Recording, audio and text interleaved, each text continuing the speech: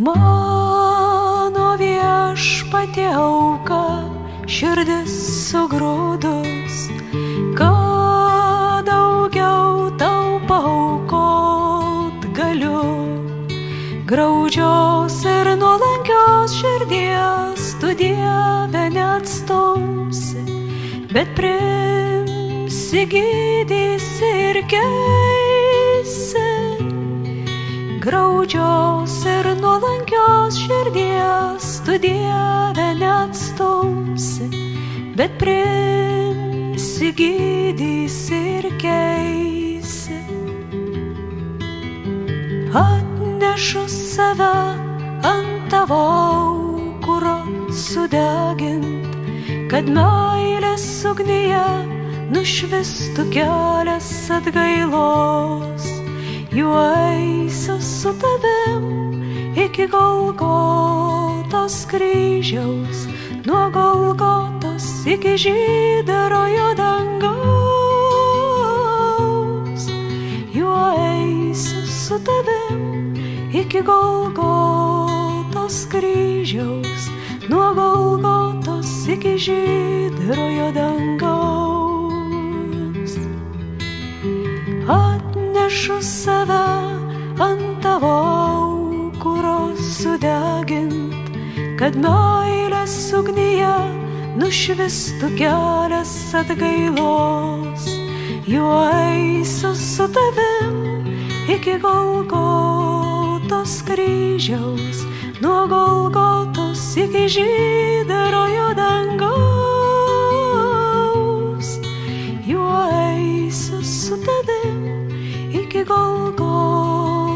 Kryžiaus, nuo Golgotos iki žydarojo dangaus. Juo eisiu su tavim iki Golgotos kryžiaus, nuo Golgotos iki žydarojo dangaus.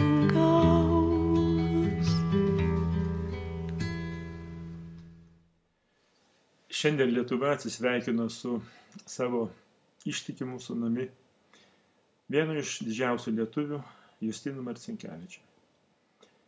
Ir aš šiandien negaliu nepasidalinti su savo bičiuliais, savo artimaisiais, Lietuvos veikuoliais, mintimis apie šį nepaprastą žmogų. Prieš daug metų, 92-aisiais berots mes, Lietuvos veikuoliai, savo sambūryje išrinkome keturis Lietuvos žmonės, kurie mūsų nuomonė tuo metu labiausiai buvo nusipelnę Lietuvos darnai.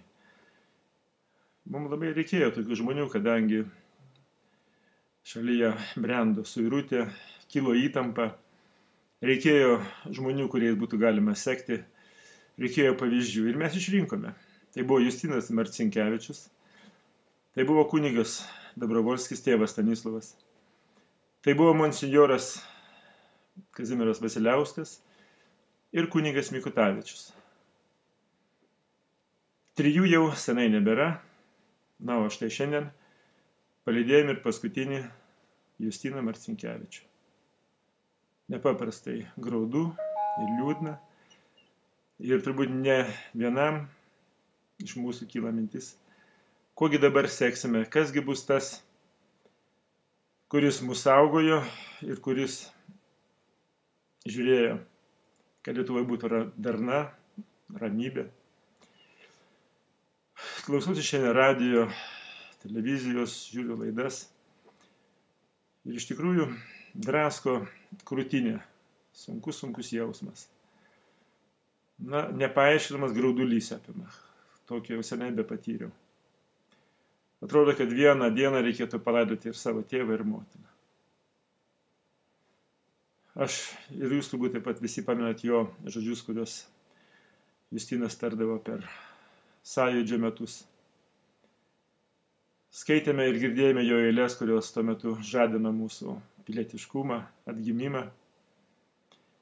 Prisimenam jo laikyseną per sunkes Lietuvai dienas.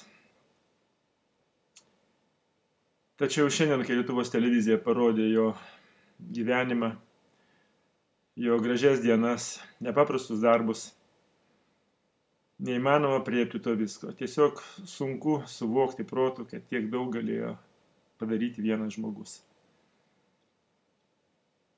Tai rauda, tai nepaprastas pasididžiavimas veržėsi iš krūtinės, kad vienu metu teko gyventi su vienu iš didžiausių lietuvių - poetu Justinu Marcinkievičiumi. O jis pats sakė, kad ten norėjo būti lygus gamtai. Kol jis buvo gyvas, kažkas mus ramino ir kėlė neapsakomą saugumo jausmą.